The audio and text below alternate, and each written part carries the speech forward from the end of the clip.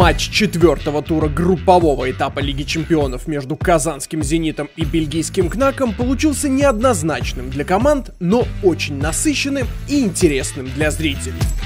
Бельгийцы славятся игрой в родных стенах, плюс в отчетной встрече не смог принять участие приболевший капитан Кнака Хендрик Терлингс.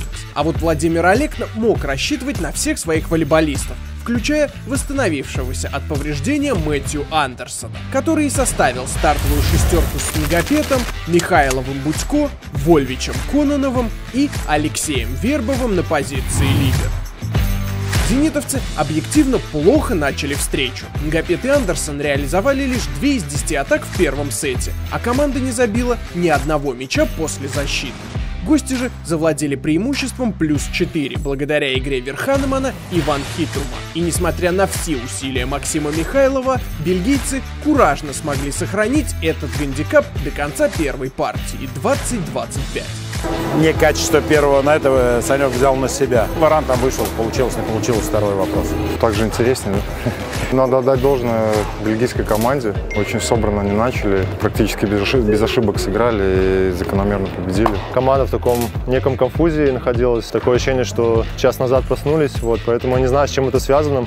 Либо не недонастрой, либо просто такое состояние было. Хорошо, что успели после первой партии сразу собраться и выиграть. Два проигранных сета в родных стенах не понял бы никто, в том числе и сами зенитовцы, которые после смены сторон нормализовали свою игру. Показав 64% в атаке и классные действия как в приеме, так и в защите, Александр Будько смог равномерно распределить нагрузку между своими нападающими, которые в свою очередь не подводили капитана 25-18.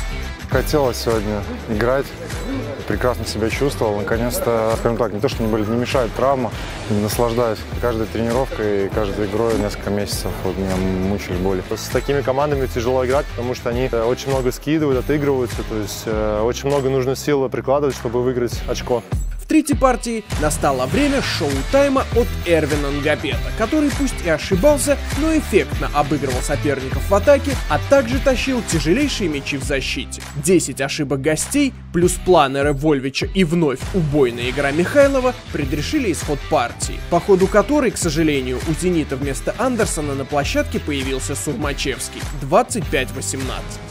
Нет, не все в порядке. Ему та икроножная мышца, которая потянута, она не дает ему полного расслабления. Там почувствовал тоже напряжение, поэтому не стоило рисковать. Казанцы играли в своей манере, раскрепощенно и явно получая удовольствие. В итоге Эрвин Гапет набрал 17 очков, а самым результативным вновь стал Максим Михайлов, наколотивший 23 очка при 67% реализации. 25-20 в четвертом сете и 3-1 в матче. Зенитовцы одерживают четвертую победу на групповом этапе Лиги Чемпионов. Все, кто пришли, получили огромное удовольствие.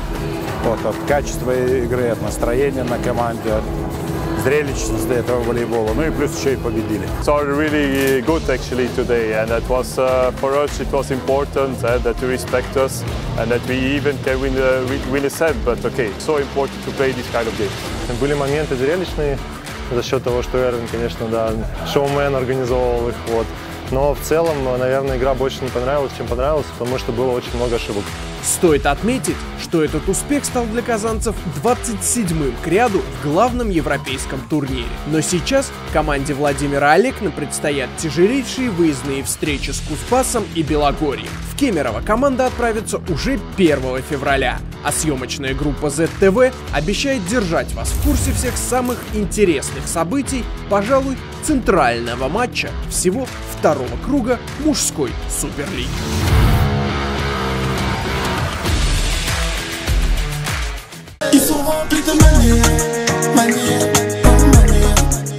Subscribe ZTV.